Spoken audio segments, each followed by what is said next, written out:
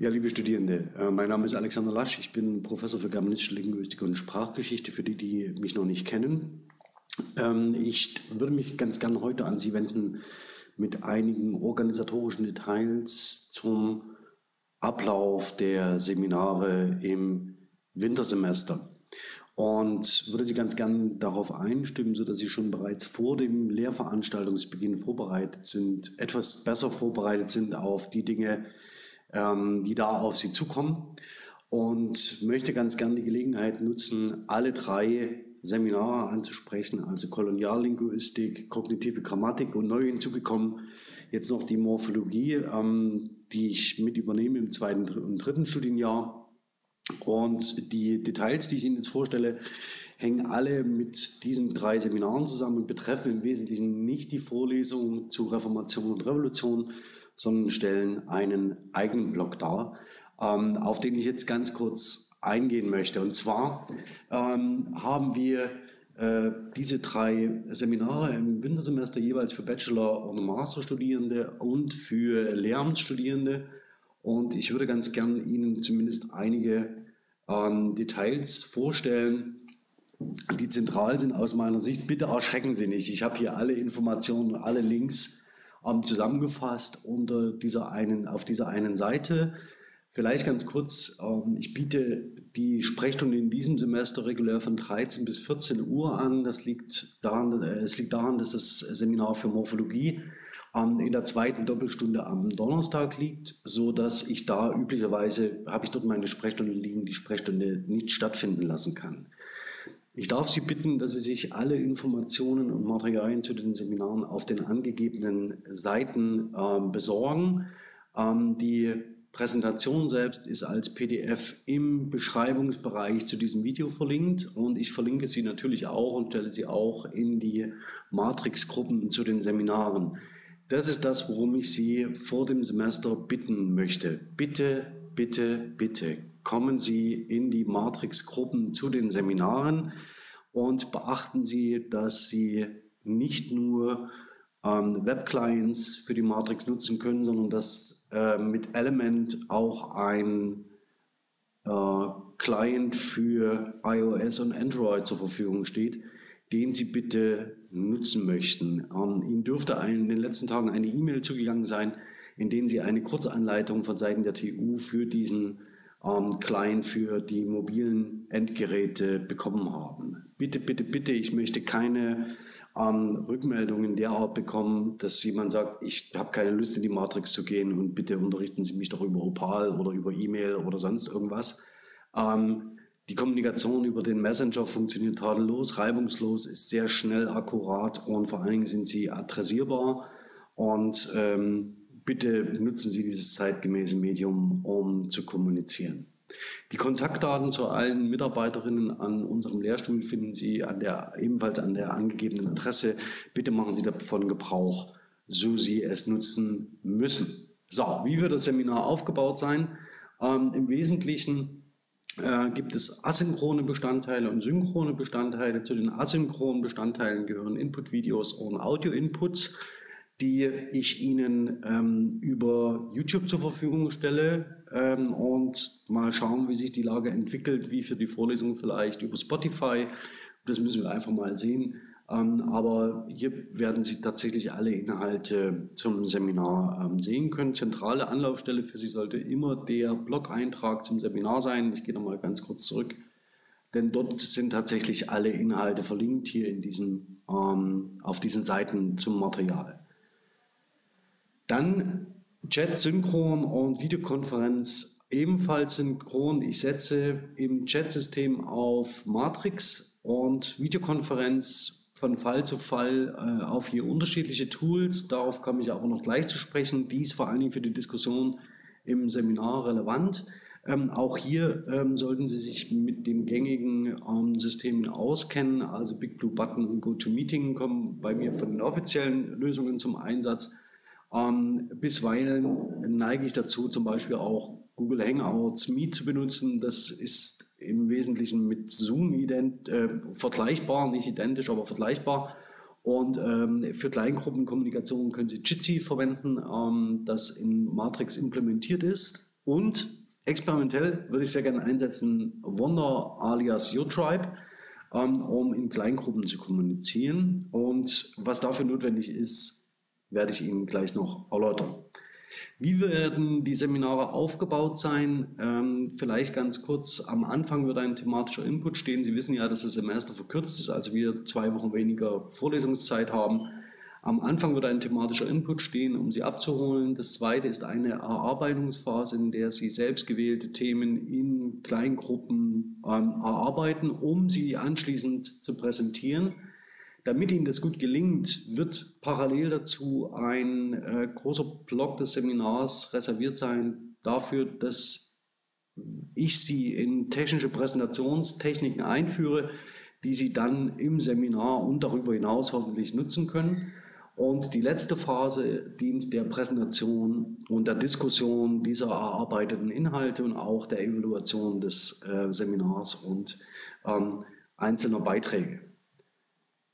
Wie wird eine einzelne Sitzung aufgebaut sein? Ähm, das ist eine Idealvorstellung, ähm, die mit Sicherheit in den einzelnen Phasen anders aussehen wird.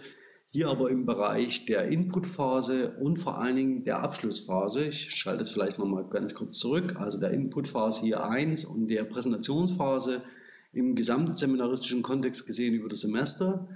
Nämlich so, dass es eine Inputphase gibt, die asynchron ähm, äh, erfolgt, das heißt über einen Video-Input oder einen Audio-Input. Dann wird es eine große Phase geben, in der man gemeinsam miteinander interagiert. Ähm, es wird eine Feedback-Schleife geben und weitere Zeit werde ich benutzen, um Sie zu informieren, tagesaktuell ähm, über spezifische ähm, Entwicklungen an der Universität und vor allen Dingen auch mit ihnen, um mit ihnen ins Gespräch zu kommen über ihre persönliche Situation und ähm, welche Probleme und Herausforderungen sie speziell sehen im weiteren Verlauf des Semesters oder zur Erbringung von Prüfungsleistungen und so weiter. Also das ist ein typischer Aufbau für eine dieser Phasen am Anfang und am Ende des Semesters. Welche Tools setzen wir dafür ein? Üblicherweise an der TU Dresden. Ich gehe das mal ganz kurz durch. Also Videos werden erstellt via OBS oder Streamlabs OBS. Das, was Sie hier gerade sehen, ist Streamlabs OBS. Veröffentlichung ähm, auf dem Videocampus Sachsen oder YouTube. Ich persönlich werde auf YouTube setzen. Ähm, die Vertonung von PPTX mit Audacity ähm, äh, ist eine weitere probate Möglichkeit oder die Veröffentlichung als Podcast. Auch diese Option werde ich mir offen lassen. Zur Interaktion mit Ihnen setze ich auf Videokonferenzsysteme, die schon genannt waren, Big Blue Button, äh, GeoGeoMeeting ähm, äh, oder andere Kolleginnen werden auf Zoom setzen. Dann haben wir in kleinen Gruppen Jitsi und YourTribe, ähm, äh, das jetzt Wonder heißt. Darauf freue ich mich sehr. Sie sollten sich darauf auffreuen. Die Messenger Elements, ähm, für den ich oder äh, auf dem Matrix-Protokoll, ähm, den äh, ich Ihnen vorhin schon ans Herz zu legen versucht habe. Ich hoffe, das war deutlich. Und dann brauchen wir noch Tools für die Kollaboration und das sind ähm, an unserer Universität bieten wir keine Office-Umgebungen an, die kollaborativ funktionieren, aber man kann mit dem CryptPad, mit Etherpad, ähm, mit Google Docs und Miro arbeiten. Bei Google Docs und Miro sollte man darauf achten, dass man keine personenbezogenen Daten veröffentlicht, aber besonders im Hinblick auf Miro äh, dürfen Sie vieles erwarten. Für die Feedback-Runden nutze ich Etherpad und CryptPads, äh, Microsoft Forms, ähm, auch hier wieder Vorsicht mit ähm, äh, den personenbezogenen Daten und das hauseigene äh, oder die Instanz, die von der TU Dresden zur Verfügung gestellt wird von InVote und äh, Mentimeter ist wieder ein kommerzieller Dienst. Gleiches gilt dann schlussendlich für die Informationen ähm, rund um Ihr Studium. So, also zwei äh, Optionen nochmal. Also hier nochmal die Frage, wie bekommen wir diese Informationen, die wir hier äh, asynchron und synchron vermitteln, zusammen? Ähm, und dafür gibt es im Wesentlichen ähm, folgende Möglichkeiten. Das heißt, die Veröffentlichung von äh, asynchronem Input auf YouTube. Und das zweite ist die Frage, wie arbeiten wir im Seminar zusammen? Hier bitte, bitte, bitte noch einmal Matrix mit der äh, mobilen App Element. äh, und Jitsi.org, das sind die datenschutzkonformen Tools und ebenfalls datenschutzkonform ist das ScriptPad, ähm, das Sie verwenden sollten, um kollaborativ mit anderen zusammenzuarbeiten. Das werden wir sehr häufig in den Seminaren einsetzen. Das nächste, ähm, dass man, äh, dass ich gerne ein wenig äh, experimentieren möchte, bedeutet, dass ich mit Ihnen auch mit Wonder und YouTribe arbeiten werde gestützt durch den Messenger Element auf dem Matrix-Protokoll und ich möchte gleichzeitig mit Ihnen auch bei Miro arbeiten, um eine gemeinsame Ablage äh, zu haben für die Gedankenentwicklung und vor allen Dingen für die Weiterentwicklung Ihrer Ideen, ähm, die Sie dort mit, gemeinsam mit anderen anstellen können. Sie werden hoffentlich begeistert sein von beiden Tools. Aber noch einmal, die sind nicht offiziell abgedeckt durch die Policy, Datenschutzpolicy der TU Dresden. Das heißt, wir müssen uns hier darauf verständigen, dass wir ähm, in, in, in diesen experimentellen Zugang ähm, gemeinsam benutzen. Aber dazu im Verlauf der ersten Seminarwoche mehr. So, zu den Prüfungsleistungen. Sie wissen, wenn die Senatsbeschlüsse für das äh, Wintersemester aus dem April heraus verlängert werden, dann sind uns, haben wir gewisse Flexibilisierungen in den Prüfungsleistungen, die wir sehr gerne nutzen können. Das sind jetzt hier die standardmäßigen ähm, äh, Realisierungen von Prüfungsleistungen mit Prüfungsformen, mit denen Sie ähm, hier in das Seminar kommen können. Ähm, Sie sehen, das schnurrt relativ schnell zusammen bei den schriftlichen Prüfungsleistungen auf Rezensionen und Hausarbeiten. Rezensionen im Hinblick auf Monographien und äh, Aufsätze, je nachdem, ob Sie mit einer Kurzüberprüfung oder einer lektürebezogenen Aufgabe diesen Kurs besuchen ähm, und dann äh, gibt es noch Präsentationen, die ähm, entweder äh, im Kontext einer kombinierten Arbeit stattfinden können, also als Referat und Hausarbeit, oder als Einzelleistung, als Präsentation. Ähm, und die erarbeiten Sie im Verlauf des Semesters gemeinsam mit anderen in einer Kleingruppe. Dazu später mehr. Ja, vielleicht ganz kurz, das ist eigentlich jetzt neben der Bitte um Matrix der wichtigste Hinweis. Bitte besuchen Sie die Seite gls-dresden.de slash Prüfungsinformationen. Dort finden Sie Hinweise zum wissenschaftlichen Arbeiten und, ganz wichtig, die Einverständniserklärung zu Bild- und Tonaufzeichnungen.